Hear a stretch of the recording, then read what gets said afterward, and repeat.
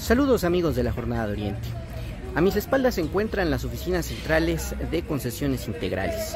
Desde aquí les platicamos que en una revisión hecha al portal de internet de Sinfra FE, que es la firma que pretende comprar entre el 60 y el 75% de las acciones de concesiones integrales, nos pudimos percatar que eh, los socios de esta empresa formaron parte del Banco Nacional de Obras.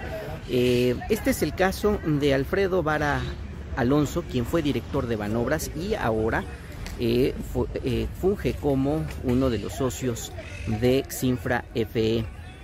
también podemos ver entre otros funcionarios de exfuncionarios de Banobras, a Emilio Sanders y Lorena Barrientos, quien también forman, quienes también forman parte del directorio de socios de Sinfra FE. El primero fungió como director de operaciones de bienes concesionados del organismo y la segunda fue directora general adjunta de mercados y tesorería.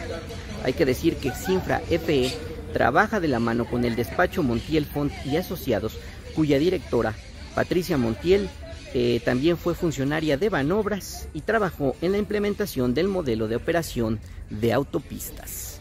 Informó para la Jornada de Oriente, Efraín Núñez.